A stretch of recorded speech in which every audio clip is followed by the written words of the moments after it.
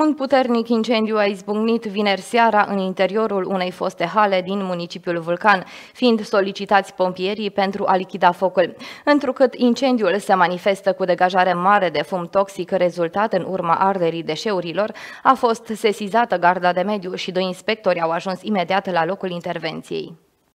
Un nor de fum toxic s-a ridicat vinerea trecută în aer în municipiul Vulcan după ce a izbucnit un incendiu puternic la o hală. Pentru misiune au fost alocate de urgență o auto specială de lucru cu apă și spumă din cadrul detașamentului Petroșan, precum și echipajul Smurd Vulcan. Ajunși la locul indicat, pompierii au constatat faptul că incendiul a cuprins deșeuri compacte, mase plastice, pe o suprafață de aproximativ 50 de metri pătrați. Pentru a facilita acțiunea de stingere în sprijinul pompierilor petroșeneni, a fost adus un buldozer la locul evenimentului fiind prezenți și doi reprezentanți ai primăriei Vulcan. Întrucât acest tip de incendiu se manifestă cu degajare mare de fum toxic, rezultat în urma arderii deșeurilor, a fost sezizată garda de mediu și doi inspectori au ajuns imediat la locul intervenției. Incendiul a fost localizat, iar pompierii au depus eforturi susținute pentru lichidarea acestuia, au informat reprezentanții ISU Hunedoara.